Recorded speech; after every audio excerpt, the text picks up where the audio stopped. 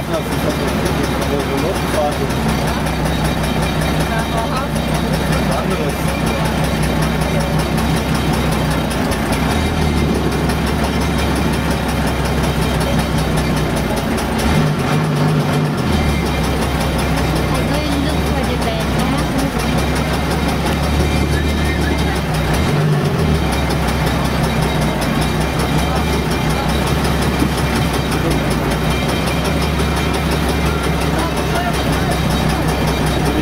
solid.